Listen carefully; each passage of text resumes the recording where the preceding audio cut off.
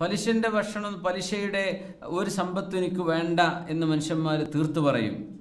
ഒരു ലോട്ടറി അടിച്ചോക്കണ്ടേ അപ്പോളേ ഈമാൻ അറിയുള്ളൂ.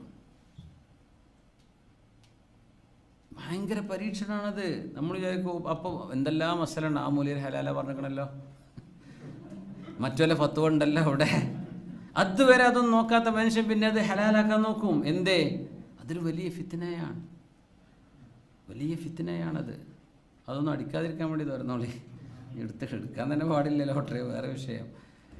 എടുത്ത ഒരാൾ ഭയങ്കര ഒരു എനിക്ക് വിളിച്ചിരുന്നു അതിന്റെ ഇത് മസാല ചോദിച്ചിട്ട്. ഏ? ആൾ പേരൊന്നും ഞാൻ പറയില്ല. ഇത്രയും കൂടി കൈ കിട്ടിയിട്ട് ഒന്നും എടുക്കാൻ പറ്റുമോ ഞാൻ ഒന്നും എടുക്കാൻ പറ്റൂല.